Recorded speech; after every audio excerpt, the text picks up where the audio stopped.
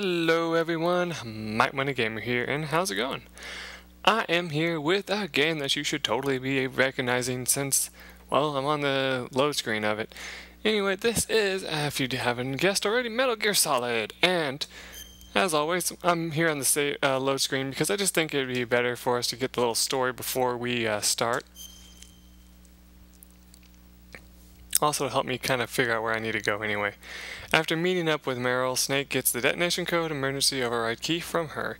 However, she only had one of the three keys to stop the nuclear attack. One must deactivate the detonation code or destroy Metal Gear itself. Okay. Snake and Meryl head for the underground maintenance bay where Metal Gear is being stored. According to Meryl, there is no other no way other than going north in the commander's room on the first floor basement in the nuclear warhead storage building. Or something like that. Hopefully you got all that, because I did kind of read that kind of quickly.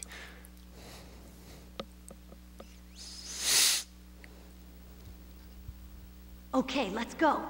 I know this place better than you. I'll be point man. Follow me.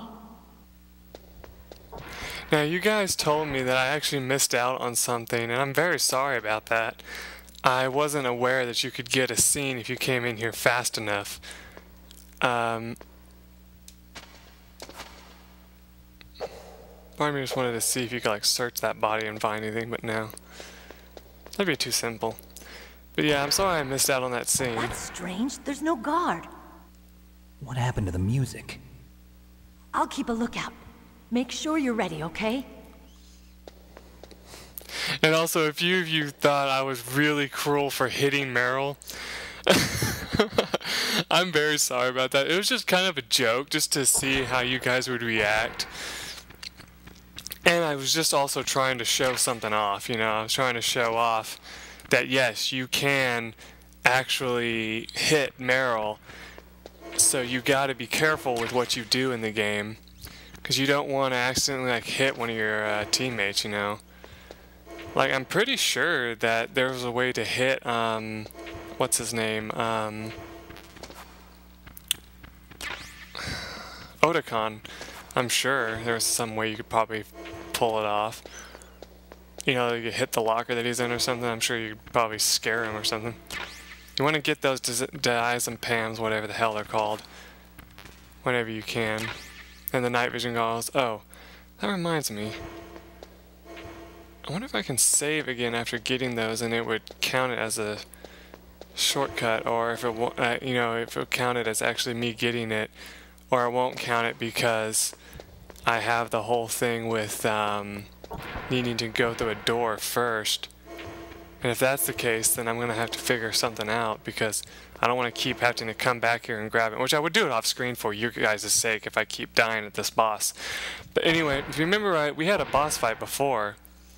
And um, let's see if I can remember the controls. Okay, here we go, yeah. I know, that's something you probably don't want to hear. Okay, yeah, hold square to aim and release to fire. Okay, that's always the same. Same for here. Okay, we don't need grenades. They're not going to help us during this during that fight. Neither will this, this. Well, you might be able to use C4, but um, something tells me it just wouldn't be that effective. I've never seen it. Uh, I've never seen it used. And also, I I'm sure this may not seem like much of a blind Let's Play because of that. Like I've said, I've watched a Let's Play before. I think I've had that discussion before too. Um, the only thing I know about the bosses is when I get into the room and I see with my own eyes what I try to remember from it, you know. So we got the suppressor SOCOM, we got the uh, fully automatic, um, whatever the fuck the MAS, MAS stands for. Sorry, I'm already cussing. Uh, we got the remote-controlled missile launcher, the claymores, C4, sun, blah, blah, blah, blah, blah. But yeah, like I said, none of these grenades or anything like that will really help you much during this fight. The only thing you really need is the SOCOM pistol. It's really your go-to weapon for like pretty much the entire game uh, for most of the fights. We will need it eventually, so let's go ahead and put it on our hand for later. Like, you know, you can remove it like this. Yeah, you got that. We're going to need this key a little bit. We also got the emergency input, input key from last time, like she said. And we got the anti-anxiety drug, which ain't going to do much here. So for right now, we don't need that. But, you know, it's there. Then we got our cigarettes as always, which you can smoke while you sit here and cause your health to plummet if you so desire. And like last time, we got the night vision goggles, which is kind of stupid to wear in this room. But you can wear them anyway.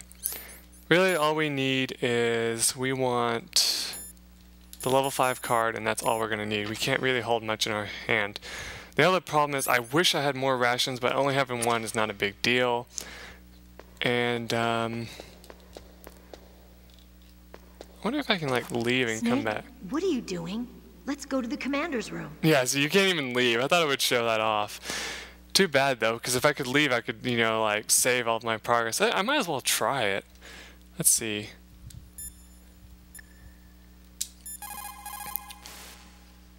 What can I do for you, Snake?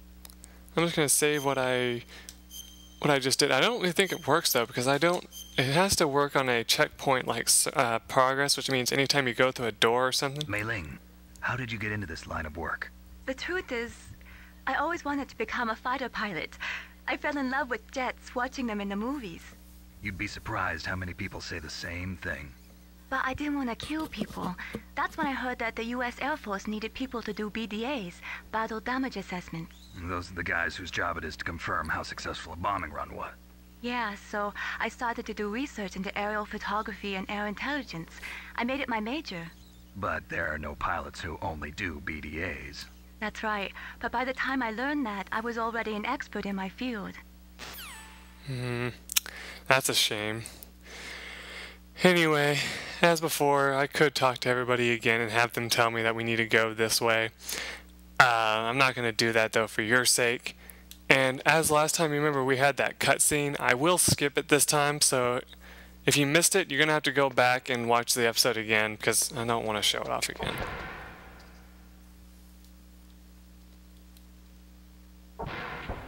Oh, I can save it right here, perhaps.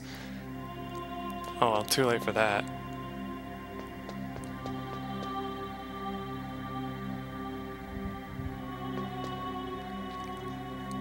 My head! Oh. Skip that. Are you okay? Uh, come on, Mr. Foxhound. The commander is waiting. Yeah, sorry if you're mad about me skipping that, but nothing I can do. Anyway, as I said before, once you go through this door, the battle starts.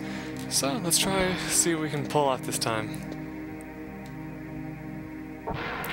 Oh shit, I really hope I remember how to grab people. Okay, yeah, square. Okay, good. Also, you notice that she comes up as a red target? That's an interesting thing. I never noticed that before. I don't care for that scene. Shut up.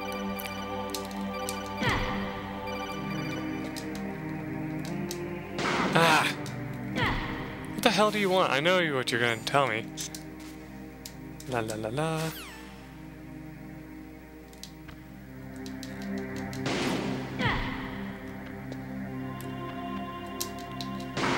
Shit, I keep getting shot.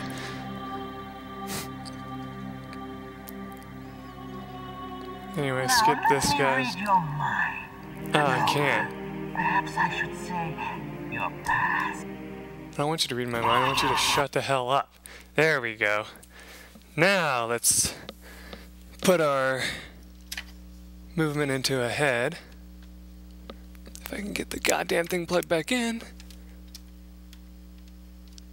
There we go. Okay, so controller port 2 is active now.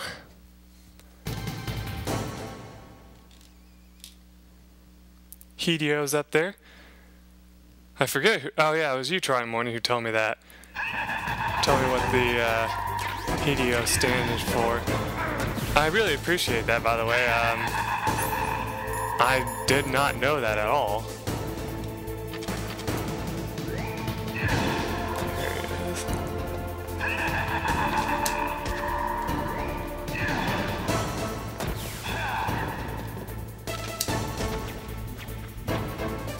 Oh shit.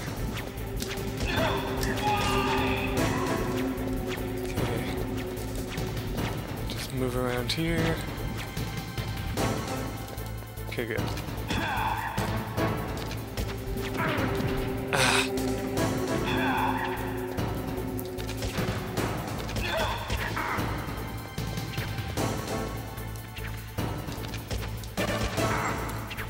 I love how the vases actually get in your way of you being able to shoot him.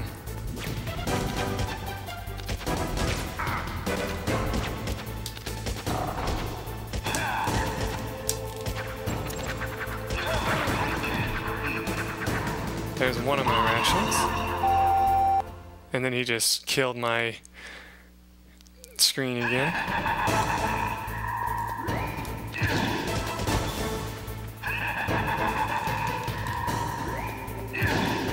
Remember, when you can't see him, just keep moving. That's the only way you can keep from getting shot by that.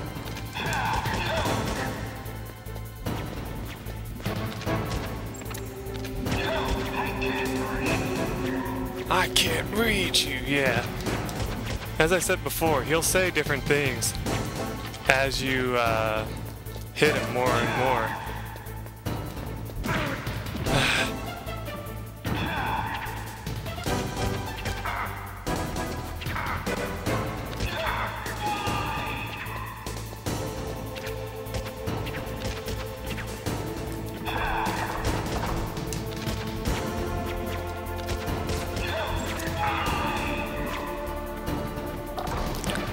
Even though the vases are his weakest attack that you can do against you, it's still better to try to avoid it.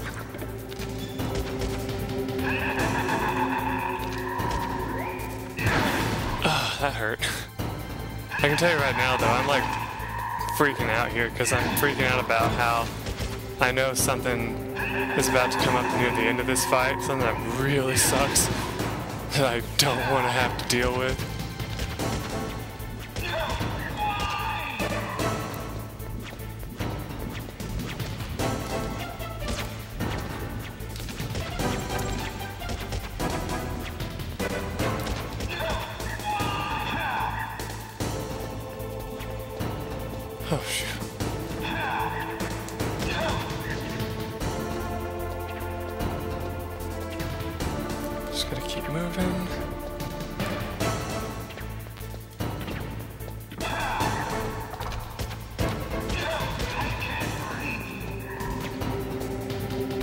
Oh man, that's close. When I played this game though, it makes me really miss uh, Kingdom Hearts because in that game, you know, you can um, defend yourself by rolling. This game, you can't even do that, you know? I'm almost out of bullets. I'm gonna be so screwed.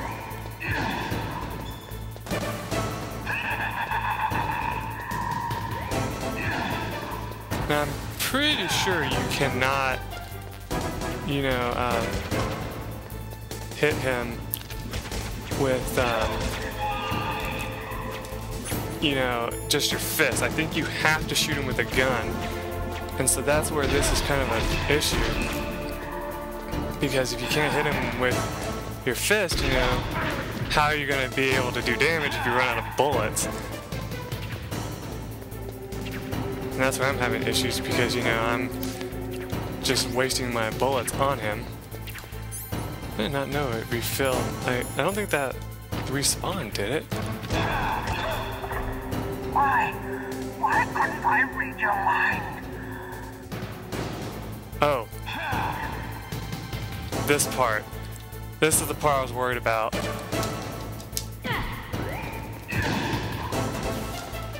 Because during this part, you have to both watch out for him and knock her back out.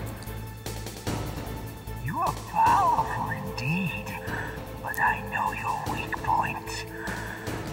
Meryl, stand right where he can see you. Oh god, fuck, I hate this part. out. You gotta get over to her as fast as you fucking Meryl. can and knock her out again.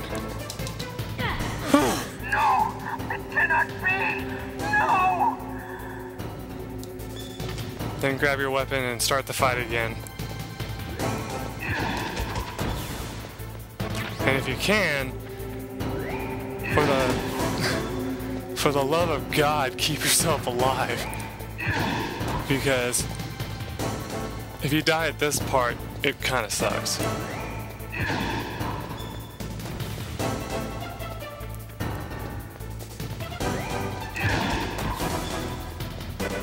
You know, we haven't had him freak out on monitor in a while.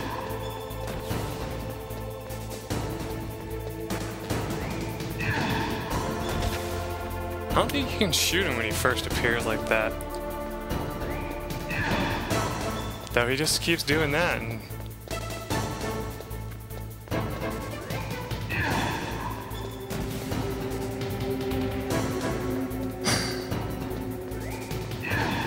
I swear, this is one of the times in a game, like I've ever played a game and had an issue where I'm just like freaking out the entire time, like, I cannot die, I cannot die, I cannot die. Even during that, oh shit. Even during that one fight that I was doing with um, that damn ninja, I didn't feel as afraid as I do right now. You know?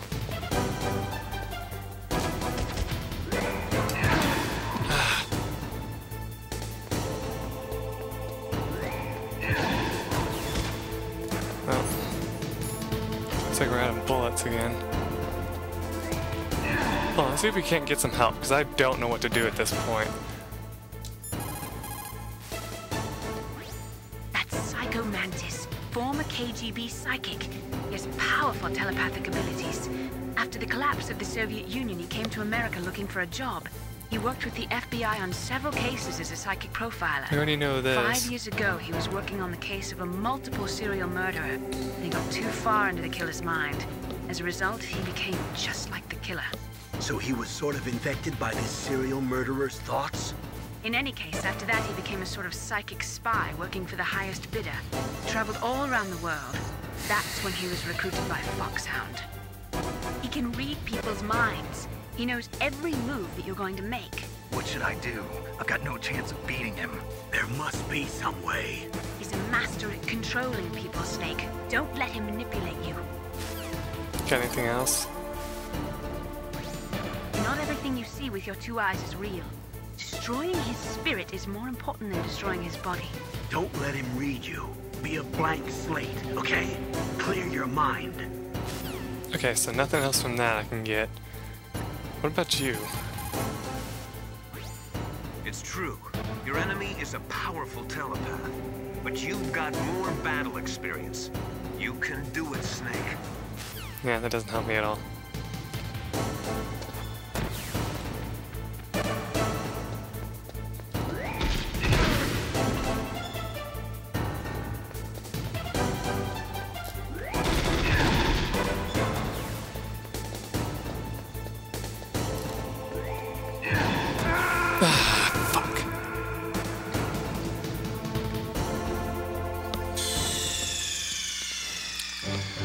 Next episode, we will take him on again. I'll get him back to the point where we are. Don't worry.